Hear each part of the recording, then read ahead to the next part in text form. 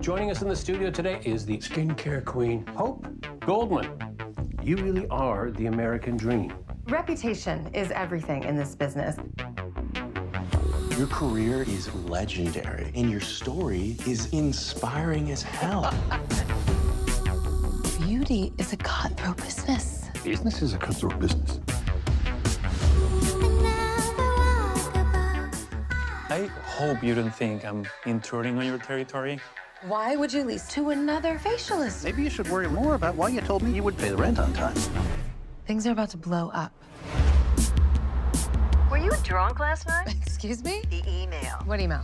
I'm reaching out to all my clients and my friends to ask for help. I am badly in debt, potentially losing my business. All I want is a hard day. I was hacked! It doesn't even sound like me. It's not me, Marine. Someone is trying to destroy me. People love a scandal. The internet is full of sickos. If I were you, I'd make a list of my enemies. Who out there might want to hurt you? Any idea who might have access to pictures of your face? I'm a public figure. She's in magazines, dude. It's like. What do I do? Take control of your narrative. Sometimes you have to start a fire to put it out.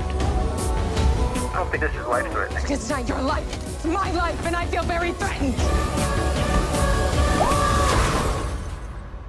I don't think it's about the skin you start out with.